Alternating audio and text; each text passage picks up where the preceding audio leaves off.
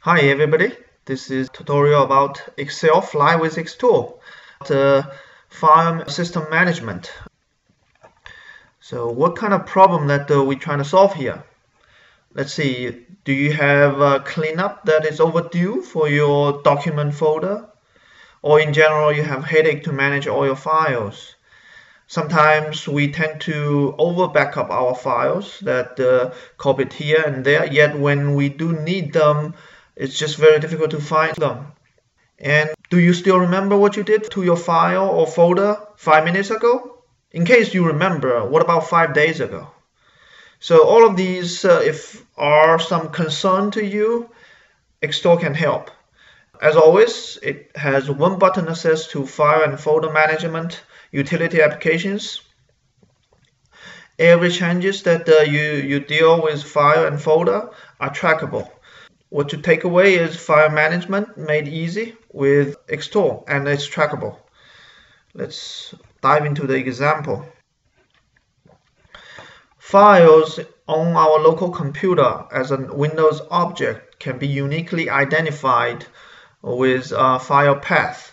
Um, so let's start with uh, listing file path.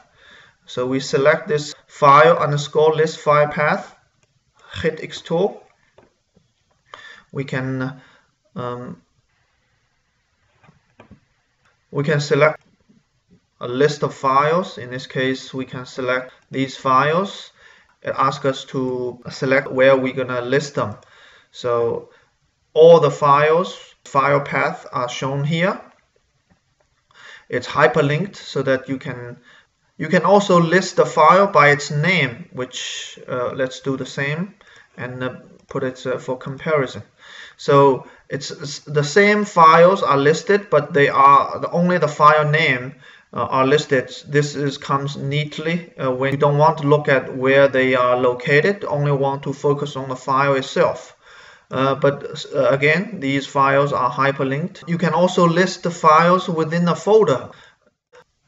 Original folder, there's many levels of subfolders that uh, you can list all the files within these folders.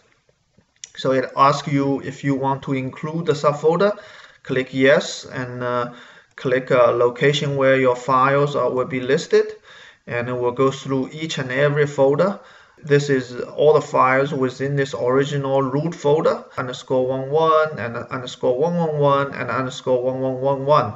So all the files within that folder are listed hereby and uh, there are many other functions but let's move on to the modif modify. We can copy file move file rename files and so on and so forth. Let's say in this uh, demo uh, we need to copy a particular file a uh, file to many many uh, files uh, essentially duplicate them to with with the name uh, of a pen uh, 0102 and and so on and so forth. And we do the same thing for another file and uh, with uh, with 18 copy of, of them. So let's just do a copy file and we can select these uh, two columns that uh, we prepared. And all of the files are copied. So you can originally you have this file and uh, it's copied to a different name uh, but uh, essentially with the same content. So um, the same uh, other functions are, uh, can be uh, operated upon a file path which is the unique ID of the file. You can use a very flexible get and a change file property to change many file properties that uh, expose to you uh, like a file uh, author, a modified time, and, and so on and so forth. So there's a there's a particular need for users of Excel uh, when they migrate from uh, Excel 2003 to 2007 and beyond when it, Office uh, or Microsoft start to use XLSX to identify Excel files that does not have VBA or macros in the system and XLSM to indicate it does have some kind of a program on the background. So previously the you cannot differentiate by the uh, by looking at the file name because all of them are named with XLS. So this demo also show you how to convert all the XLS file into according 2007 beyond format. Let's say use these uh, we use the copied file over here to convert them into according files. Let's say these are the files that we just uh, uh, copied. So you can select all of them, open, and uh, we can select the file location here. It will make a list of uh, all the files that is converted into 2007 and above version.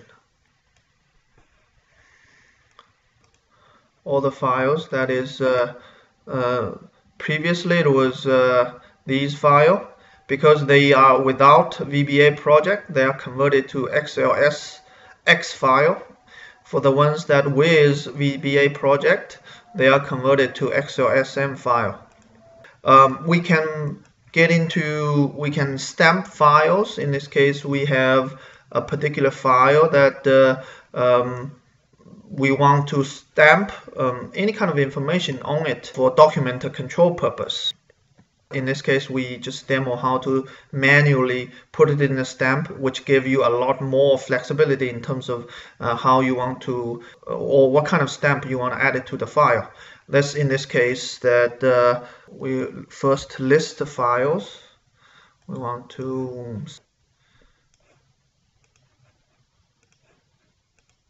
So these are the files, and uh, we want to stamp them. Let's say this is can stamp it with a custom input. You can keep the original file or you can just override the existing file. Let's just, in this case, keep the original file. All of the stamps that you put it in are added to the file name. And uh, it's hyperlinked. Folders. This is something that is uh, kind of interesting that uh, Let's just uh, start with an application. Suppose you have managed some kind of a project with a file and a folder structure, fairly complicated that you have essentially engineers on each uh, contributed for each folder or for ex, uh, certain file type goes to certain folder structure. But now you move on to a new project that you want to use the well managed folder structure of previous project and at least build onto it. You don't want to create from scratch.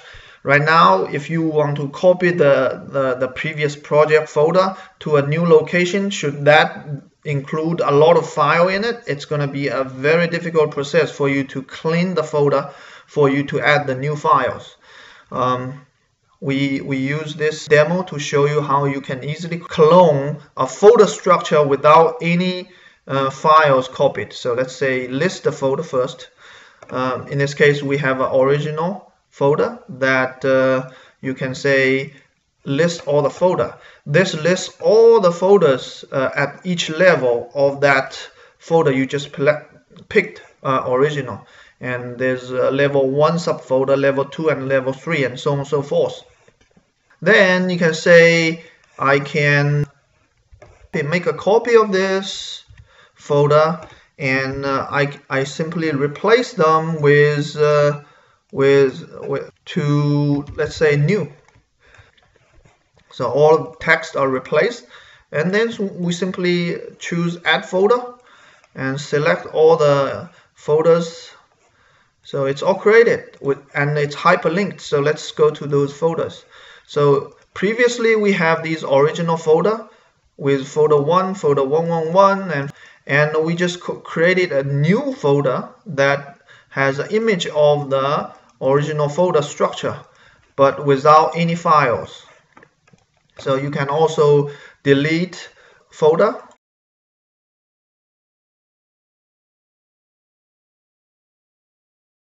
We can select all the folders to be deleted and uh, they are all deleted with hyperlink removed. We can go to them and uh, double check. So original the new folder and all the subfolders are all deleted. This gives you an idea how we can use ExTool as a platform to manipulate file and folder structure system with trackable information. You look at all the uh, examples that we have gone through so far, all the changes that we made are saved that you can easily uh, backtrack what you have done. So that concludes how to manage file system with ExTool. Again, Excel Fly with ExTool. Thanks for watching.